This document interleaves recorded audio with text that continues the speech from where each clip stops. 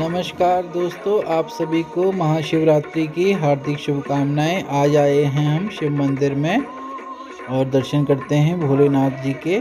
चलो, वीडियो को शुरू करते हैं और चलते हैं मंदिर के अंदर।